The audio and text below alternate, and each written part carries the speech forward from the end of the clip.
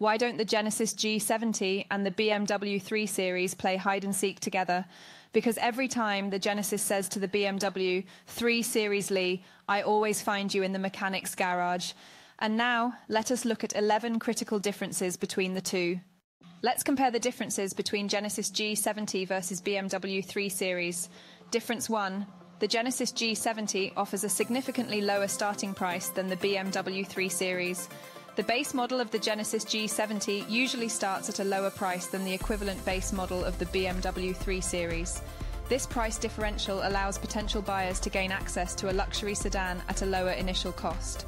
Difference 2. The two vehicles offer different powertrain options.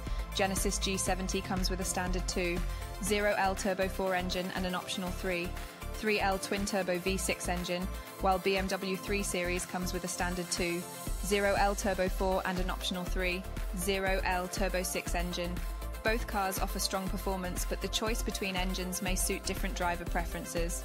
Difference 3. Regarding the interior of these two cars, the BMW 3 Series uses more upscale materials than the Genesis G70.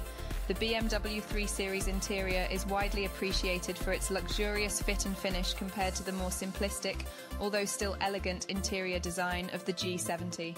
Difference 4. When it comes to standard features, the Genesis G70 shines bright. Even at the base level, G70 includes features like Apple CarPlay and Android Auto, heated seats, and a suite of advanced safety features called Genesis Connected Services, many of which BMW 3 Series charges extra for. Difference 5. Concerning their exterior design, BMW 3 Series is considered a bit more conservative, reflecting its German heritage.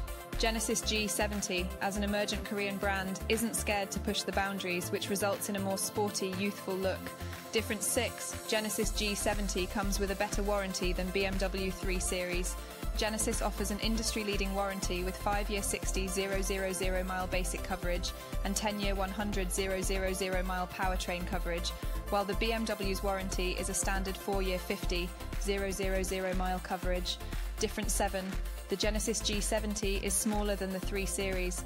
It's a more compact vehicle which may appeal to those who prioritise agility and easy parking over size and spaciousness. Difference 8.